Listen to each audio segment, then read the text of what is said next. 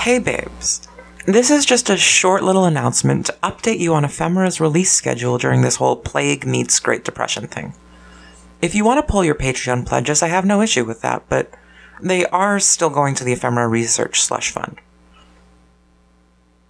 If you want to pull your Patreon pledges, I have no issues with that, but they are still going to the Ephemera Research Slush Fund, which pays for access to books, journal articles, texts, etc. I've been researching and writing episodes, and our boy Miguel has been editing them, but we both had COVID symptoms sometime in the last month or two. He lives in New York, my heart goes out to the guy, which obviously took some time. Don't worry, we're both fine. Miguel just sent me episode number 18, and after I listen to it, I'm going to upload it for you to listen to. Episode 19, coming up hopefully also this month, is about horse ebooks and the nature of Barthèsian simulation, Foucault, all that good stuff. Uh, some conceptual art, and I expect to publish that during May as well. I've fully written the scripts for episodes 19 and 20, and I'm about half done with the script for 21. I also submitted Ephemera for publication and funding from the CBC, Canada's national broadcaster, and I'm waiting to hear back about that.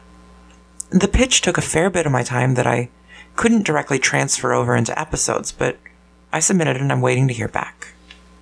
If they take me up on it, I'll make a six episode season looking in particular at women's experiences with the internet, retelling a few stories I've told before but with tighter production.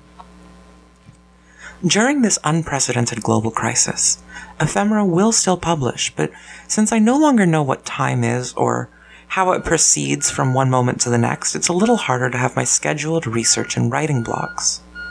Also, I'm back in school, which is taking a lot of my time, but allows me to apply for Canada student benefits. Ephemera will get back on track, work out the kinks in publishing, catch back up to itself, and continue to provide you with unique perspectives on interesting stories. It is so, so, so important to me that ephemera is good, remains at this consistent level of quality I've reached with Miguel's help, and that's something I've heard from listeners that you care about as well. All of this is basically just to say, hey, there's an episode coming out later tonight. Uh, and I'm making another zine. Thank you so much for your support during this time.